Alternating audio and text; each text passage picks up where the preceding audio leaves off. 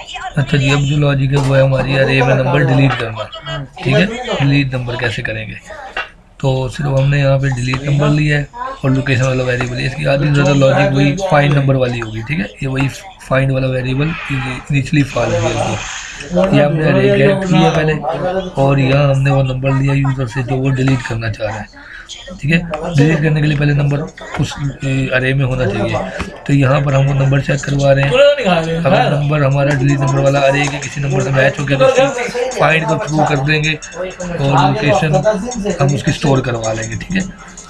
अब जब number find हो जाएगा, वहाँ पर आकर हम इफ़ के अंदर आगे लॉजिक लगाएँगे, ठीक? अब एक मैसेज है नंबर आफ्टर डिलीट अरे को डिस्प्ले अब जिस लोकेशन पर हमारा नंबर फाइंड हुआ है, अरे को वहीं से स्टार्ट करेंगे अपनी, ठीक है?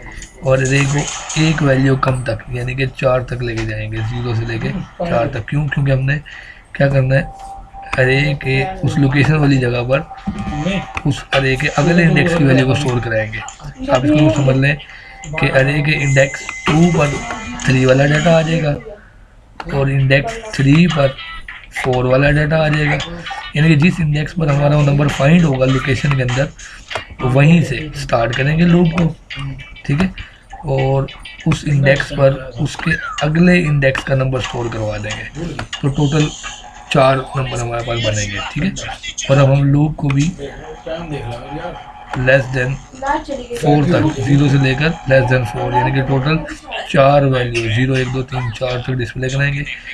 अब इफ़ तब चलेगा जब हमारा नंबर अरे में मौजूद होगा डिलीट करने के लिए इफ़ चलेगा। अगर अरे नंबर में होगा ही नहीं नंबर अरे में होगा ही नहीं तो हमारा डायरेक्ट एल्स भी आएगा नंबर नॉट जनरेट ठीक है? जी